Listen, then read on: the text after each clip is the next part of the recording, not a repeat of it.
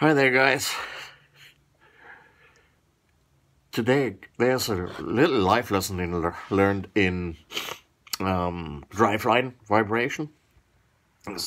I noticed the funky hum under the car, coming from under the car, from the driveline at high speed, and I just couldn't figure out what that might be. And today, while working on the tranny, I kind of figured why. All right. So here we loosened that up. Here I dropped the tranny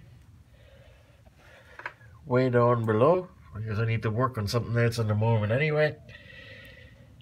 Stuff that away up there. Ugh. And here you can see nothing. This little nub there. And then here, that one and now it's a straight line. And that's the spline I was talking about. I just disengage it one more time. See? It slides in and out. And when you slide it back in like so now I've got these nicely lined up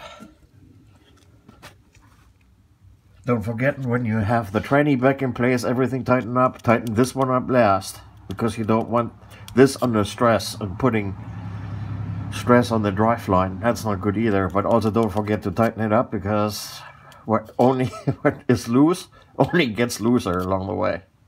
Have fun.